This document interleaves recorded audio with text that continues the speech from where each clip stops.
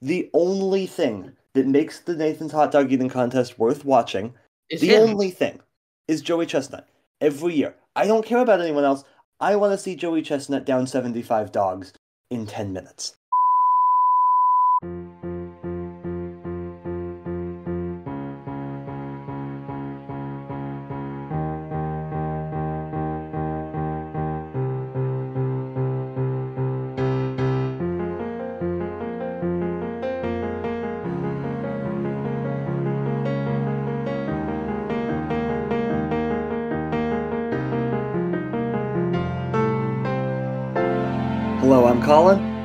And I'm Charlie.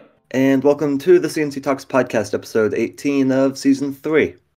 Just a reminder, we release episodes every week and we talk about politics, world events, and sports. It is currently Thursday, June 13th, 2024 at about 10.05 a.m. Pacific time as of us recording this. And we do not have any time to waste. Let's get right into it with some news that broke just a couple hours before we started recording this podcast. The Supreme Court has upheld access to the abortion pill mifepristone. This was a unanimous ruling, but based less on the actual merits and more just based on the fact that the group uh, suing to block access to mifepristone had no standing. So in the short term, Charlie, I would say this does prote- obviously protect access to mifepristone much well, much more than obviously would have if they said that it wasn't allowed. Like obviously, but on a longer term basis, I don't think it really does that much to protect access to abortion. I think that this is ju- just has to do with the standing on this case. What do you make of this one?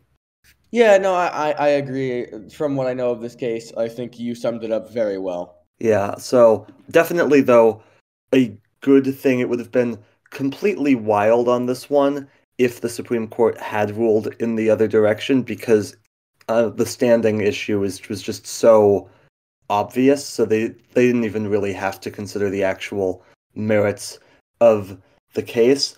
And so when we talk about the Supreme Court in general right like they do there is still a line that they're not willing to cross and that line is moving is seemingly every single term but there are still actions that at least for now are too drastic for them to take i think Yeah. Let's move on to some polling for the election in November.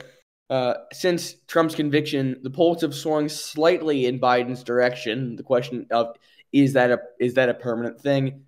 Maybe, considering the amount of support Trump has been getting from his base since the uh, the conviction. Colin, are yeah your thoughts? again yeah like take polls again with a grain of salt but like trends like those i think are more reliable like the fact that biden does seem to be trending in the right direction at the moment definitely a good thing for him 538 uh, just released their forecast which again you probably shouldn't care what 538 says given that they uh, are have not been Co- Colin, here's a question: When was Yeah. the last time they got an election correct? 2012 i think Yikes! Um, so it's been a while. They get they right now give Biden a fifty three percent chance of winning the presidential election, which whatever. I think that it's just more relevant to see that there are actually polls at the moment supporting the idea that Biden is going in the right direction, seemingly due to the Trump conviction, which is definitely good news for the Biden campaign. Yeah, no, it, it is it is really good news for him, but obviously the question is, can he sustain it? Uh, given that I think that the Trump conviction did give him a bit of a boost, um, and as we go into the, couple, the next couple of months, when things start to crop up again, like the debate over immigration, like the debate over the economy, will we see him his numbers take another hit? Yeah, I mean, it's interesting because he's again still polling low on those issues despite a very, very strong economy at the moment. So we'll see. Again, like we still got what, like almost five months until the election, right? That is a lifetime in politics. So, like, we're already tired of talking about it, and we've still got five months to go. It's it's gonna be a long way to the finish line on this one. Yeah, it, it really is. Uh, but speaking of elections, we had the special election in Ohio, and the Democrats certainly did overperform. Colin, what are your thoughts on this, and what did they win?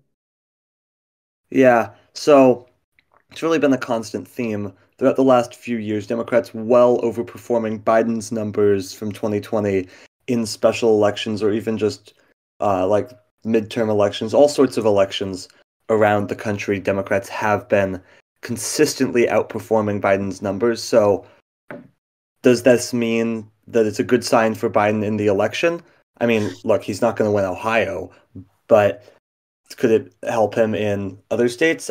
I think that right now, kind of the pattern that we're seeing is that it's kind of flipped. Democrats are seemingly the ones who are now the hyper engaged voters. They seem to be the ones that are doing better in these low turnout elections. Uh, lots of Republicans seem to just be sitting out these special elections. So I don't know if this is actually a good sign for Biden in the presidential election. We know that we're getting a high turnout election in November.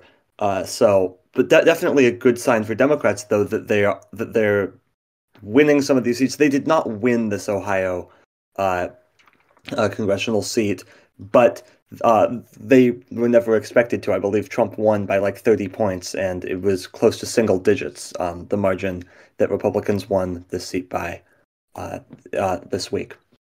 So, not necessarily any ground gained quite yet, but a push in the right direction for the Democrats. Well, and certainly it's been a trend throughout the last several years to see Democrats overperforming. All right, let's move on now to Hunter Biden, who has been convicted of is the this official charge is uh, owning and operating a gun under uh, the something like with alcohol, drugs, or something. I don't know what the official charge is. Yeah, that's essentially what... lying on like when he uh, went to go get a gun, lying uh, and saying that he was not addicted to like crack or whatever. Uh, which yeah, sure, it's a crime. I don't think most other people are charged with this crime. Whatever, if Hunter Biden did the crime, he should be charged with it. But Charlie, I'd like to make an official proclamation, okay? I'm not going to vote for Hunter Biden. Right? Very simple. Hunter Biden, I don't think he should be president of the United States. Because he's Great. not running. We done here? Exactly. Like, if he was running for president, sure, that's another thing, but he's not. Stop using this just to get at Joe Biden because he's not the one that actually did a crime that he was charged with and then convicted of, you're thinking of the other guy that's running for president, Donald Trump. yeah, and I think, like, I mean, Hunter Biden is not running for president. Yeah. Joe Biden is. Yeah, like, I wish that we could stop talking about this case. Like, mention it a little bit. Sure, it's somewhat interesting. It's the son of the president of the United States and like Biden has been issuing statements about the about it, which are actually I think very good statements, right? Essentially making sure it's very clear he's staying out of this case. He's not going to pardon Hunter. He is not going to try to interfere with this case in any way, but also just making it clear that he has like full support for his son. I think it's it's hard to balance in this situation being a good president while also being a good father. I think he's done a good job on that. But like just who who cares? Really? Like why is this something that needs to be talked about 24/7 on cable news? Yeah I, I i don't i just don't really really get it. I think it's a an idea to kind of push a narrative against against biden. Certainly. Um and you could see that the the timing of this doesn't look necessarily great uh, for the Republicans who are pushing uh, against Hunter Biden, considering that their main guy just got convicted. Exactly, but like Fox News viewers aren't going to hear that. Right? Well, no, it's amazing to me the way that the Fox News host. That's, the entire. No, that's the I, I, I know it is. Like all of a sudden, the justice system is working when with the Hunter Biden, but the justice system is completely rigged when it comes to Donald Trump. First of all, exactly. Biden has no control over what happens in New York. Uh, now he didn't really have control over what happened here in the Hunter Biden case either. But yeah, that's a good thing, and like it's in both cases, it's a jury of their peers that convicted them, right? You can't have it one way. Oh, the justice system's rigged when it's your guy, but then when it's uh, the other uh, the other side say, oh no, the justice system's is working perfectly. And by the way, guys, I don't think that Joe Biden is some evil mastermind who's rigging the justice system when you know his own son just got convicted and is likely going to go to prison. Yeah, I get the feeling that he uh, is also not doing that. Uh, let's move Yeah. on to some to some more uh, things that are not necessarily good. Samuel Alito uh, has we some recordings of him have been revealed showing what, Colin? Yeah, nothing good about Samuel Alito or his wife, uh, Martha Ann Alito. Um, this was uh, recordings, secret recordings taken by a woman named Lauren Windsor, a, a reporter uh, at an event, I believe, just last week, uh, where she essentially pretended to be some conservative and got Alito to say a bunch of things that he probably shouldn't be saying, like how America needs its godliness back as a country. Didn't And- he suggest that America should become a theocracy? Essentially, yes, and. for those, like I like he didn't know, by the way, words. Yes, he also talked about how our side needs like to win, which oh, you're a Supreme Court justice. I don't think you should be talking about taking sides and winning elections. But maybe Yeah. maybe that's just me. Again, he won't recuse himself from any cases regarding elections, so that's fine. For, And then Martha don't know, by the Ann Alito. for those who don't know, What? by the way, a theocracy is a religious-based government like Iran. Yeah, Uh, so Yeah, if you it's not- that is not a it's kind of against the U.S. values. It's it's the entire it's it's against the entire point of the United States, basically. Yeah, So um, So- yeah, if you want to live in like Iran, listen to Samuel Alito.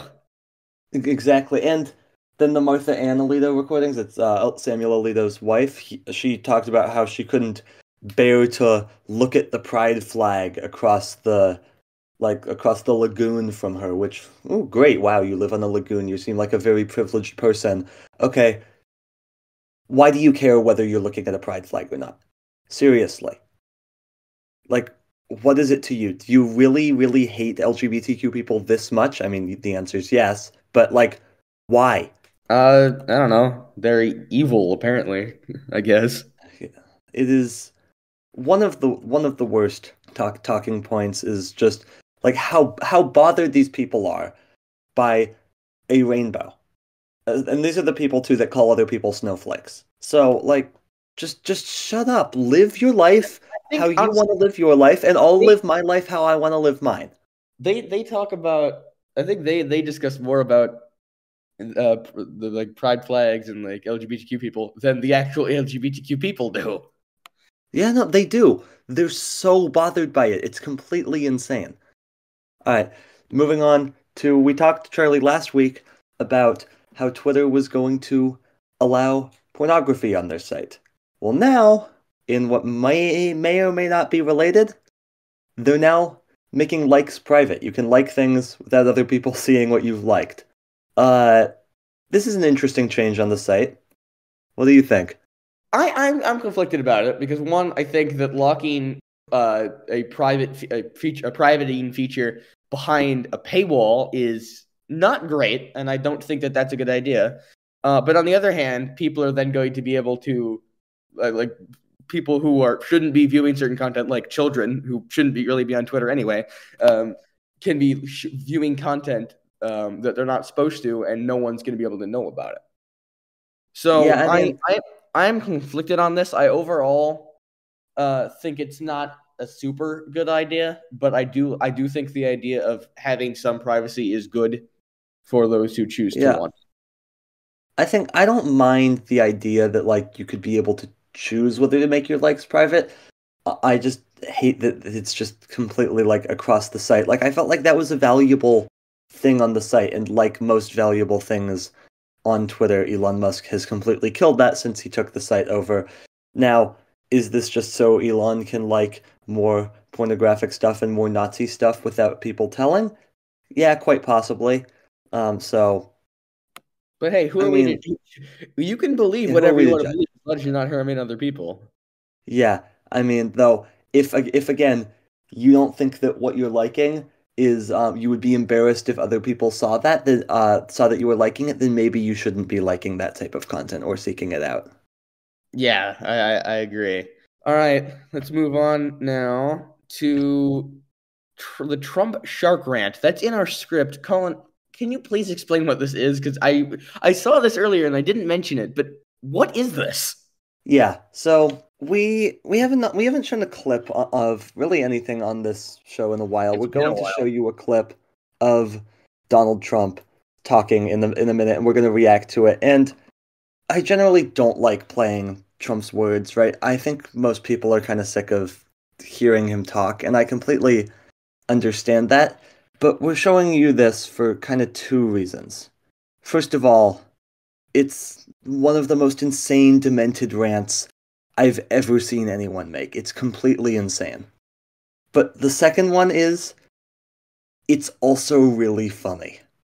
So, without further ado, here is Trump talking about sharks and electric boats. And it must be because of MIT, my relationship to MIT. Very smart. He goes, I say, what would happen if the boat sank from its weight and you're in the boat and you have this tremendously powerful battery and the battery is now underwater and there's a shark that's approximately 10 yards over there. By the way, a lot of shark attacks lately. Do you notice that? A lot of shark. I watched some guys justifying it today. Well, they weren't really that angry. They bit off the young lady's leg because of the fact that they were they were not hungry, but they misunderstood what who she was. These people are crazy. He said there's no problem with sharks. They just didn't really understand a young woman swimming now really got decimated and other people too. A lot of shark attacks. So I said, so there's a shark 10 yards away from the boat, 10 yards, or here. Do I get electrocuted? If the boat is sinking, water goes over the battery, the boat is sinking. Do I stay on top of the boat and get electrocuted? Or do I jump over by the shark and not get electrocuted? Because I will tell you, he didn't know the answer. He said, You know, nobody's ever asked me that question. I said, I think it's a good question. I think there's a lot of electric current coming through that water. But you know what I'd do if there was a shark or you get electrocuted? I'll take electrocution every single time. I'm not getting near the shark. So we're going to end that. We're going to end it for boats. We're going to end it for trucks. The trucks. Um, Charlie, what the hell was that that we just watched? I, I can't tell if he's trying to make turn this into a ref. Is he referencing something? Is he just talking about boats? Yeah, he's talking about how electric boats are a bad idea. But Okay, also, it's uh, just So like. here's the question: What does this have to do with anything, and why does this matter? So he was saying this at a rally in, of all places, Las Vegas, where I'm Hang sure on. that. Yes, Boats the- and sharks the are real landlocked issues. State of Nevada and boats. Yes, and and boats. And I mean, it's just it's completely insane, completely demented. Like I would choose electrocution, but we we got to end this for boats and we got to end it for trucks. Like what the hell is he talking about? I don't know. I it's it's so so so bad. All right. Um Charlie, let's move on to your stat of the week for this week. Yep, and my stat of the week is actually not a super interesting one this week, but it's just quick look at something. We are about a third of the way through the MLB season.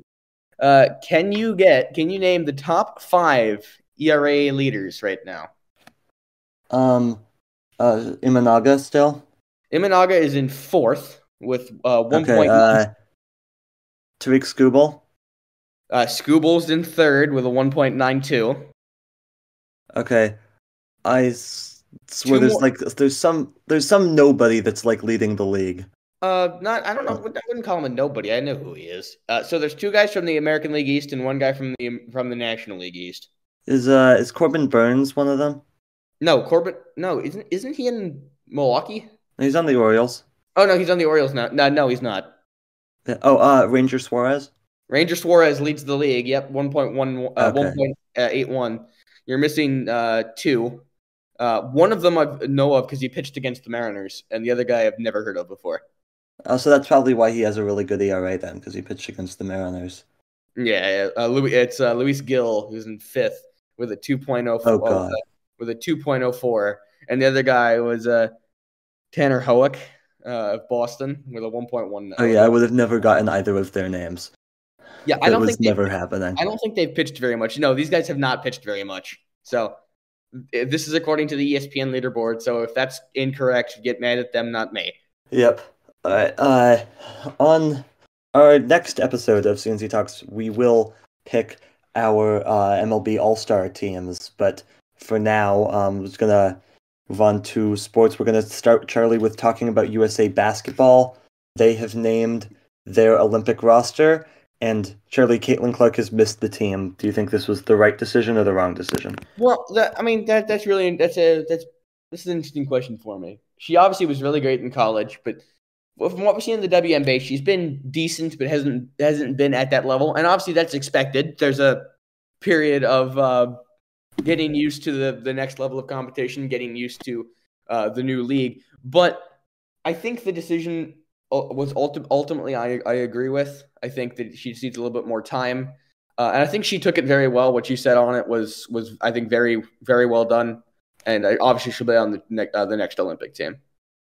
Yeah, I mean, she said that like it's the hardest team to make, but so and it's like, which it is, and it. She said also like it's definitely like tough for her, but that like just gives her even more motivation. Essentially, this is who did make the team: uh, A'ja Wilson, Breanna Stewart, Diana Taurasi, Brittney Griner, Alyssa Thomas, uh, Napheesa Collier, uh, Jewell Loyd, Kelsey Plum, Jackie Young, Sabrina Ionescu, Chelsea Gray, and Kahleah Cooper. So yeah, that's a very, very good team. The USA women's basketball team has not lost a game at the Olympics in over 30 years. Just it's a just completely dominant team. You can make the case for one of the greatest teams of all time throughout history. And here's my thing on it. There's a lot of people out there saying Caitlin Clark should have made the team just because of uh, ratings or, or whatever. Like it would have brought more viewers. Okay, that's not the point. And honestly, if you won't watch the USA women's basketball team, uh, if Caitlin Clark's not playing on it, you, you don't really care about women's basketball anyway. All yeah. 12 of these players are at the moment better basketball players than Caitlin Clark is. And there's probably a couple more that are better than her, too. I doubt that she was the 13th woman on the team. Caitlin Clark should make this team only if they thought that she was one of the top 12. And for everybody that says Caitlin Clark should be one of the 12, who are you leaving off? Because all of those people deserve to go just based on their talent alone, significantly more than Caitlin Clark does. Yeah, and, the uh, discussion.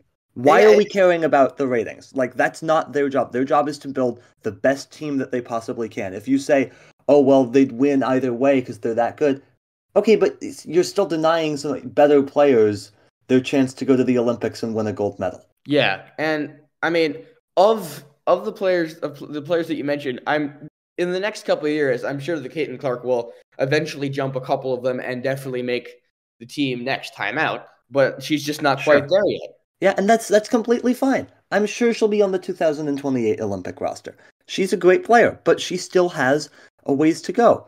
But she has struggled to start the WNBA season, and Charlie, like you said, it's not unexpected. It's a completely normal thing. But she's just not there yet. That's fine because she's a rookie, but she's not there yet. Yep. All right, let's move on now to the NBA Finals, which has been one of the most boring three games so far that I've ever seen. The series is over. Boston's up three yeah. three nothing. They've gotten some help. Uh, they've had a couple of great games. They they don't have Kristaps Porzingis right now. They might not have him for the rest of the series, but Dallas just has not been able to put it together. And there's just been no intrigue, no interesting storylines. It's just been pretty disappointing, honestly. Yeah, Luka's been banged up a little bit. He was Doncic is trying everything. Yeah, no, defensively though he's been completely atrocious this series, but he, uh, on the offensive end he's been playing well. Kyrie has not been playing well this series. But Charlie, I have a question for you. You ready to admit that you were wrong after Game One? Because I no, I, I, remember what you said on the podcast last week. I, yeah, I know. I, I said I would, and I agree. I think that this Boston team they're very easy to doubt. They kept coming up like short time and time again, but I think this is finally the time that they put it together. And th- finally, this this had to be the run that they put it together. They built an absolutely stacked roster. Anything else other than winning the championship would have been would have been an absolute disappointment. They got a pretty easy road sure. through the East. But yeah, I agree. I finally got to give it to them. Well done. Can they defend it next year? I doubt it.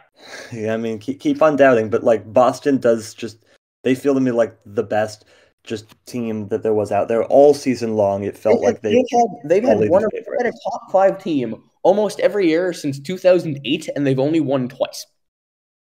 I mean that that is true. Um, I also I think we got to give some props to Joe Mazzulla too. He uh, he coached really, really well this series and really yeah, all season long. A lot of doubters last year. Yeah, He's my concern with Boston though is if you look at the teams in the East. I mean, you got that Magic team that's up and coming. You got I don't think Cleveland's going to be nearly as good, but the Knicks could be back. Indiana's only going to get better. They're they're not it's not going to be a free run necessarily next year and they did get pretty lucky coming out of the East with all those injuries. Obviously, they earned an easier path by being the best team in the regular season, but they did get lucky with not having to play Halliburton, not having to play like basically any of the good players on the Cavaliers and obviously, in the first round, the Heat stood no chance without Jimmy Butler. Yeah. Do want to talk for a minute before we move on from the NBA Finals, Charlie? ESPN's presentation of the finals, uh, or ESPN ABC, it has been completely atrocious. Like a complete disgrace to the sport of basketball. Specifically, you you know what I'm talking about. Their pregame and halftime show. They've given their halftime show like 20 seconds, and I'm completely over Stephen A. Smith and Michael Wilbon and Bob Myers yelling at each other. It's, it's entire. It's like annoying. It has made the finals borderline unwatchable. Uh, and like Bob Myers essentially said, and he's not fully wrong, but he essentially said that the, the GM of the Celtics should be the finals MVP. I mean, I see what his point is, but still, like, what are you doing? And then Michael Wilbon saying, oh, in game two, Tim Hardaway Jr. is going to have to be like the big player that comes through. He was a he was a did not play coach's decision. Like, do these people actually know anything about basketball? I'm really confused at this point. Hey, by the way, just a question for you: Who do you think is Finals MVP if the if it ends in four? I don't know. Like, I honestly I get Bob Myers' point, even though it's kind of dumb that like the best thing the Celtics have done this series is just be complete. Let's just be like the deepest team out there. It's yeah. so obvious that that is what's winning them these finals. Well, okay, I I think the thing that won them that won them the finals is just being a really good regular season team, and a lot of the times that doesn't work. But they got an easy road. They blew up, as I said, they blew up the Heat. They destroyed the the, the Cavaliers. They got past a very injured Pacers team, and now they have to face a very tired Dallas team that had to work through a gauntlet of a Western Conference. Yeah, I will. I'll also say, though, if I had to pick a player, it's probably Jaylen Brown, who, by the way, I think is a better player than Jayson Tatum. I'm just going to no, put that I, out there.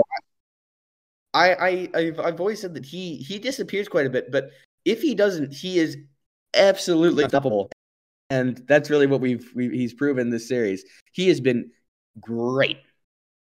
Yes, he has. All right, let's move on to another finals, Charlie, the Stanley Cup finals, which also, again, game three is uh, Thursday night, just after we're recording this. Uh, but the first two games of this series in Florida, not exactly the most exciting games. Very physical games, especially game two. A lot of uh, penalties in game two um, of this series, but it's Florida up 2 0, heading back to Edmonton, Charlie.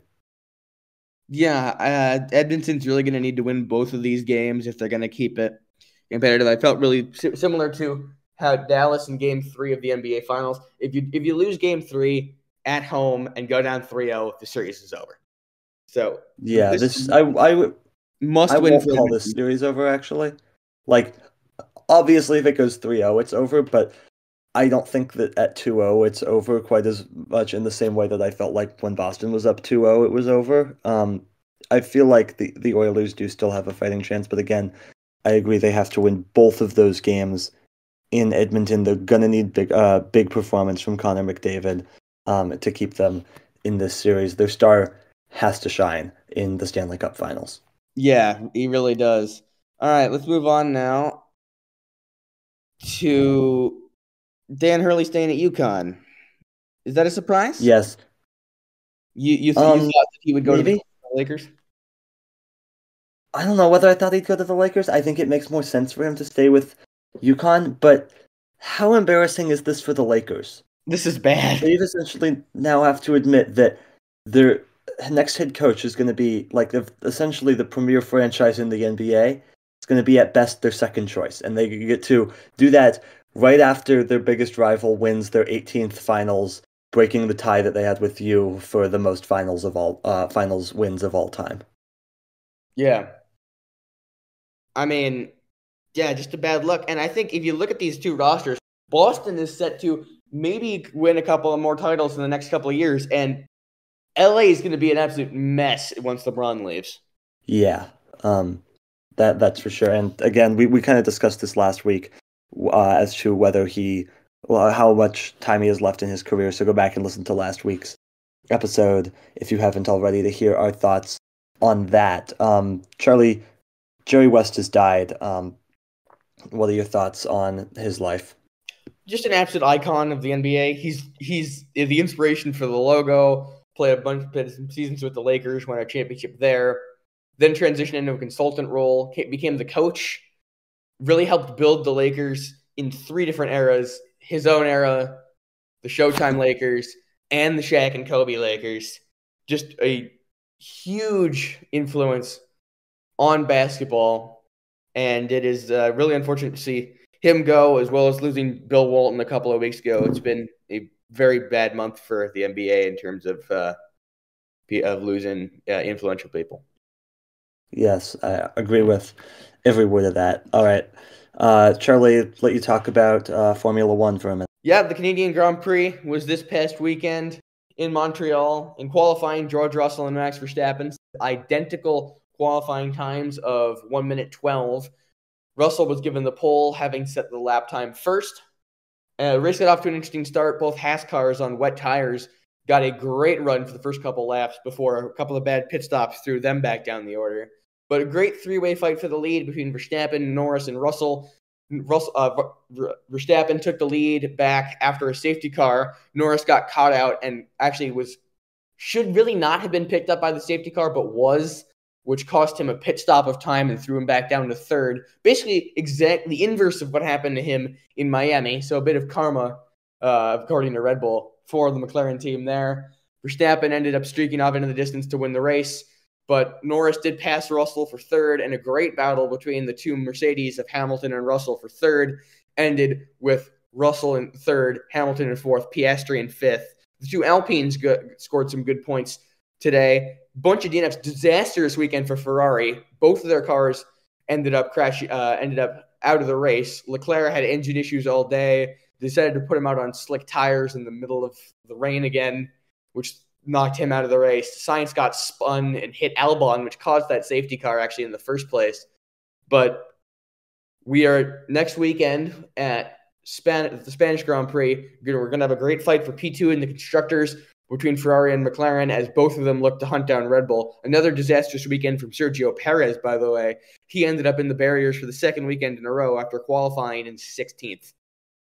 That's yeah, it. Charlie, remember when you said that I should start watching again because there's actually a fight for the title? Well, yeah. it was like that kind of ended this week. Well, no, I, I disagree. This was actually one of the best races that I have seen, arguably since 2021. Really, we didn't know who was going to win until about five to go. There were great fights up and down the field, and I, I don't think just just saying that Verstappen won is a great disservice to this race. This was the best race that I've seen in a very long time. No, but I mean, like just in like as it relates to the entire season. The season feels over. Um, not necessarily. His lead is only about 50. He's been struggling the last couple of weekends. He got this win was really could be considered lucky as he did get he did get um lucky with that safety car, which really ruined Norris's chances of winning the race. They've not looked good. Perez's crash really hurts them for their upgrades later in the year as well and they're they lost ground in the constructors championship to McLaren due to the crash out uh, from Perez. So this season is nowhere near over, and we're only we're not even halfway done. All right, if if you say so. Okay, yeah. So I'll now move on to something I know Charlie doesn't want to talk, about, which is French Open. Started on the women's side, Iga Swiatek, just completely dominant on clay, by far on clay the best women's player in the world um, in the semifinals, taking down Coco Gauff in straight sets and then winning in straight sets in the championship, her third straight French Open title, four of the last five. Really, no one can beat her on clay. Uh, recently, the only challenge that she did have was in the second round against Naomi Osaka. It felt like at the time that that might have been the only chance to take out Swiatek on the women's side, and it absolutely was in the end. Now, on the men's side, it was much better, much more uh, competitive in the semifinals. Um, start with the Zverev Ruud matchup. Ruud has made the finals each of the last two years, and it looked like he might get there third time. Won the first set Uh, then uh, Zverev kind of took over, got to the finals, his second Grand Slam finals ever. But uh, last time when he was playing Dominic Thiem, which he lost after being up two sets to love, this time he was going to get a tougher opponent in the finals, the winner of the Alcaraz Sinner blockbuster match. And this one, it went five sets. Um, Sinner won sets one and three, Alcaraz sets two and four. None, none of these sets were particularly good sets. Uh, it was just one person was clearly just the best player in, in the set. It just alternated, and Alcaraz won the fifth set, so got to his third Grand Slam final, and then uh, took down Zverev from uh, down two uh, sets to one in one in five sets. Um, so Carlos Alcaraz now three championships, uh, three Grand Slam uh, titles, um, one in France, one at Wimbledon, and one at the U.S. Open. He's three and zero oh in, in uh, major championships. He has uh, uh, slams on all three surfaces, and he's just 21 years old. This is really an incredible player in Carlos Alcaraz seeing at the moment. Yeah, absolutely. Um, let's move on now to uh, the College Baseball World Series. Yeah, and in college baseball, the World Series is set set to get underway on Friday. And Charlie, this year it is all SEC and ACC teams. Those are the the only teams that have made this uh, this College World Series in Omaha. LSU did not make it; they got outed in uh, in the regionals round. But uh, the runner-up last year, Florida, they uh, did make the College World Series, the only unseeded team to make it. So it's uh, Florida, Virginia, NC State, Florida State, North Carolina, Texas A&M, Kentucky, and Tennessee. So again, just two conferences represented there. Um, but one of the best fields I think we've ever seen in Omaha. Seven of the eight teams are seeded, and the only one that's not, like I said, the preseason number two and the national runner-up from last year, Charlie. Yeah, I mean this is a great, absolutely great field. Uh, who who's your pick to win? Um, probably Tennessee. They've been the best team all season. They did struggle against Evansville though in the Super Regionals. Uh, that went three games. Definitely shouldn't have. So we'll we'll see. Um, I think it could be just there could just be some great games. I think we could a championship series that goes three games depending on uh, who, uh depending on who makes it there. So definitely a lot of storylines though. Yeah, absolutely. Uh, now let's talk about something pretty funny. Uh, Joey Chestnut has been banned from the hot dog contest. Um, why? How? And is this reversible? Um, doesn't seem reversible, but this is because of his sponsorship deal with Impossible Foods, uh, who Nathan's Hot Dog, uh, the group that sponsors the hot dog eating contest, can rival company of theirs. So he is banned. Charlie, I absolutely hate this move. I hate this move, but also that seems like a really bad decision on his part too. Why though? Like you you had to figure that that was gonna happen. If you, maybe, but right he, here's my thing. Right, it's that's like trying sh- to raise the Red Bull no... Monster Energy sponsorship. No, sure, but again, there is just absolutely no reason to to ban him. The only thing that makes the Nathan's hot dog eating contest worth watching, it's the him. only thing, is Joey Chestnut. Every year. I don't care about anyone else.